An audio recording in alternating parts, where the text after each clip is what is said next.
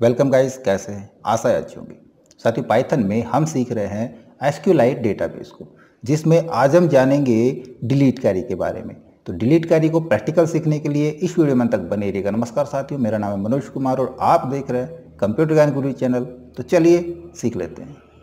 तो देखिए, जहाँ पे हमने सीखा था सेलेक्ट कैरी को, मैंने वही फ़ाइल ओपन कर ली है। यहाँ पे मैंने सबसे पहले तो आपको यहाँ पे बताया था डेटाबेस। हमने इंशर्ट कराना है इंशर्ट कैरी सीखा था, फिर हमने सेलेक्ट कैरी सीखा यहाँ पे। अब हम सीखेंगे कि डिलीट कैरी को कैसे हम इम्प्लीमेंट करें पाइथन के अंदर। तो मैं आपको ये बता दूँ कि डिलीट कैरी का सेंटेक्स एकदम माई एस के सेंटेक्स जैसा होता है। और एक चीज़ और मेरे पास बहुत सी रिक्वेस्ट आती हैं कि, सर माई एस को स्टार्ट कीजिए। तो मैं सभी के लिए बता दूँ कि हम माई एस ज़रूर स्टार्ट करेंगे, लेकिन उससे पहले आप देखिए, हमने पाइथन भी शुरू किया हुआ है, हमने पी भी चलाया हुआ है और साथ साथ हम माई को नहीं ले सकते। इन दोनों में से कोई भी एक सीरीज़ कंप्लीट होते ही हम तुरंत माई स्टार्ट कर देंगे राइट तो हम सेलेक्ट कैरी को ओपन कराते हैं यहाँ पे। हम देखते हैं कि हमने कितने रिकॉर्ड यहाँ पे सेव किए हैं। तो उसके लिए हम इसको रन करा लेंगे सेलेक्ट कैरी को। तो आप यहाँ देखोगे हमने यहाँ पे छः रिकॉर्ड ऐड किए हुए है ना? यदि आप यहाँ पे नहीं देखना चाहते हैं तो आप डीबी ब्राउज़र ओपन कर लें। मैंने डी बी ब्राउज़र भी ओपन किया है, यहाँ भी देख रहे हैं हमारे पास वो क्यों है? छः रिकॉर्ड है, यहाँ पे चेक कर सकते हैं। और जब डिलीट करेंगे, तब भी हम यहाँ पे चेक कर पाएँगे राइट तो डिलीट कैरी का हम सेंटेक्स कैसे लिखेंगे, उसके लिए मैंने एक नई फ़ाइल यहाँ पे क्रिएट करी है। इसको मैं फ़िलहाल मिनिमाइज़ करा देता हूँ। और यहाँ पे हम सबसे पहले तो यूज़र का इनपुट लेंगे कि हमने कितने नंबर का रिकॉर्ड डिलीट कराना है। यानी कि कौन सी आईडी हमने डिलीट करानी है, वो आईडी नंबर से डिलीट कराना है हमने, सीरियल नंबर से डिलीट कराना है, नेम से डिलीट कराना है। तो यहाँ पे रिकॉर्ड देखिए मेरे पास क्या क्या है। मेरे पास यहाँ पे है आईडी, नेम, क्लास और ईमेल। यही हमने लिए थे। तो हम आईडी से ही यहाँ पे डिलीट कराएँगे कि हम कितने नंबर की आईडी का रिकॉर्ड को डिलीट कराना चाहते हैं।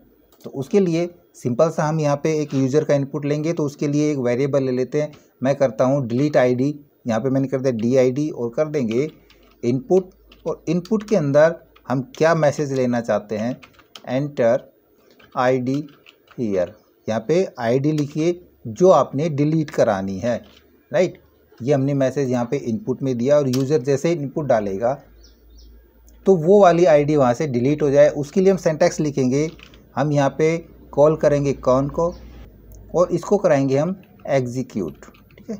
सीधा हम एग्जीक्यूट करा के और यहीं पे जैसे हमने सेलेक्ट को किया था, इसी प्रकार से हम यहाँ पे करेंगे डिलीट को।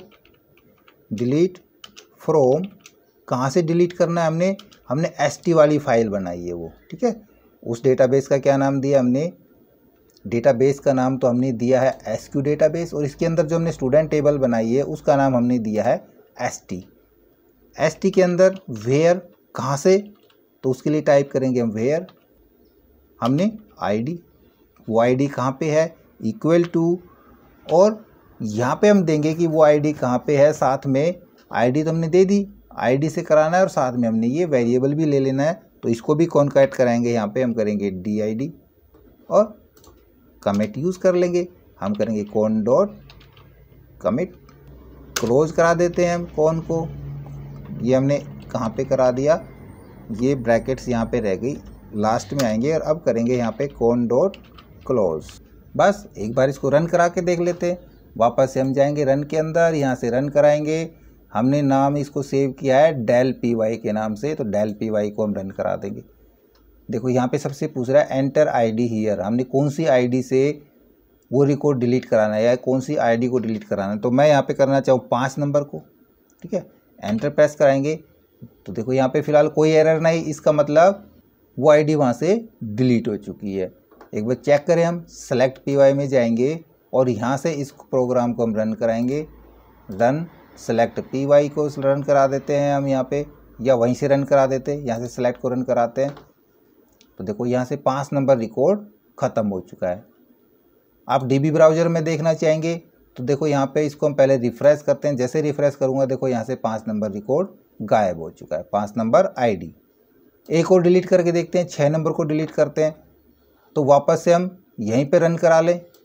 तो रन कराएँगे हम वापस जा कर के रन के अंदर और डिलीट वाले को रन कराएँगे। यहाँ पे हम यूज़र इनपुट के अंदर डाल देंगे छः नंबर और एंटर प्रेस कराएँगे। हो गया छः नंबर डिलीट फिर से रन करा के देखते हैं किसको रन कराना है हमने इस बार। हमने रन कराना है सेलेक्ट कैरी को। तो लीजिए यहाँ से। देखो छः नंबर भी डिलीट हो गया। राइट बिल्कुल सिंपल था। जैसे माई एसक्यूएल यदि आपने सीखा है, वहाँ पे जिस प्रकार सेंटेक्स यूज़ करते हैं हम डिलीट कैरी का सेम टू सेम हम पाइथन के अंदर, एसक्यूलाइट के अंदर भी वही सेंटेक्स यूज़ करेंगे। अब हमने डेटाबेस को अपडेट भी करना होता है तो नेक्स्ट वीडियो में सीखेंगे अपडेट कैरी को राइट आई होप वीडियो आपको ज़रूर अच्छा लगा होगा। इसी प्रकार अच्छे अच्छे वीडियो देखते रहने के लिए हमारे साथ बने रहे। हमारी वीडियो को ज़्यादा से ज़्यादा हम दोस्तों में शेयर करें, हमें लाइक करें और यदि नए हमारे चैनल पे तो हम सब्सक्राइब ज़रूर कर लें।